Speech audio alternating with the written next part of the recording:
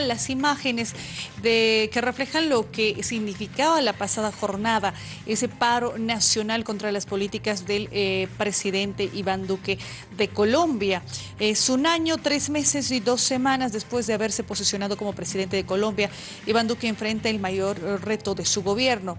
Con él el país entra en un campo de zozobra que si bien no es eh, por lo menos hoy comparable con el que eh, se ha visto en, otros países de Latinoamérica, dan el espejo de las marchas que se sumaron a cientos de miles de manifestantes la pasada jornada. Es muy fuerte eh, movilización eh, multitudinaria, movilización de hecho de las personas que rechazan las políticas asumidas por el eh, presidente de Colombia, Iván Duque.